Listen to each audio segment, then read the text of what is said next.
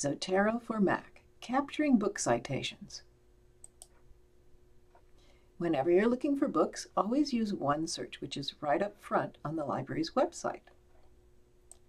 I'm going to enter search. And when I do that, I get this drop-down menu, and I'm going to choose Books and Media, CSUSB. We have books that are available online and books that are in print. And we've got an example of each kind right here at the top of our list. I'm going to capture the citation for the print book first. And to do that, I can click either here on the title or on the Available At link to go to the next screen, which is the full entry screen for this one book. And now I can go up to the capture icon, click it, and save that to my library in Zotero.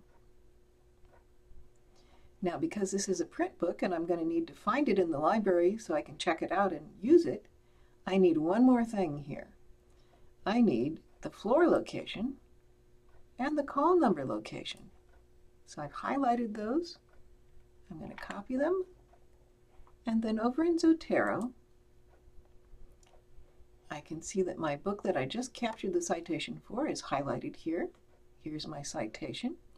And they've thoughtfully provided a spot for call number. I can click there and paste. And now I have that information already in Zotero whenever I need to use it. Let's do the online book.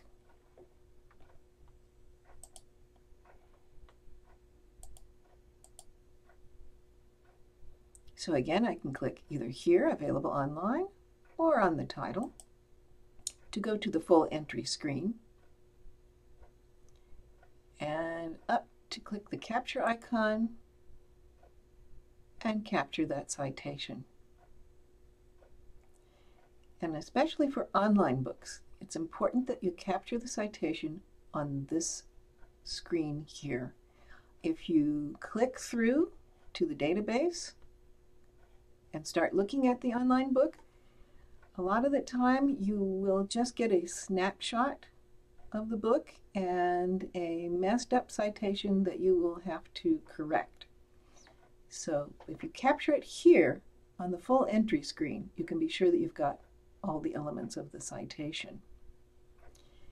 Now we do need to get one more thing here because to access this online book, I need to use one of these two links, which are set up in a special way so that it gives me access to the online book, so that I can always get back to this full entry screen.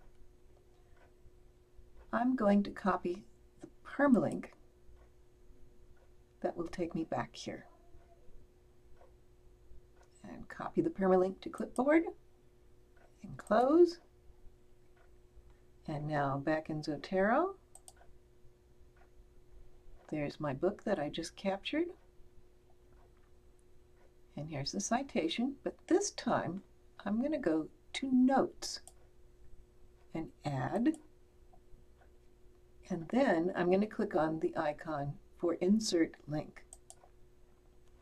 And now I can paste the permalink into Zotero and it's attached with a note to this title.